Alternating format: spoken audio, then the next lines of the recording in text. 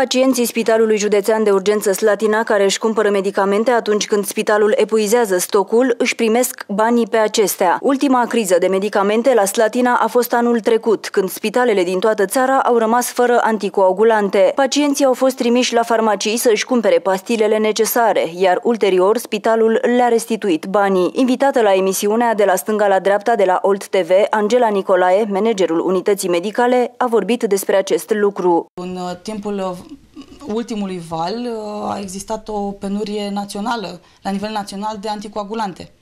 Livrările erau rare și în cantități foarte mici.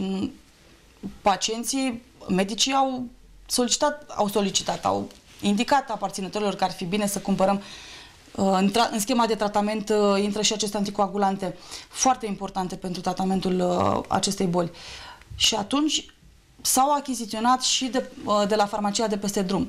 Însă, din respect pentru pacient, la nivelul spitalului, să știți că există o procedură în baza căreia pacientul își poate recupera Oho. sumele cheltuite uh, pentru achiziționarea medicamentelor în regie proprie.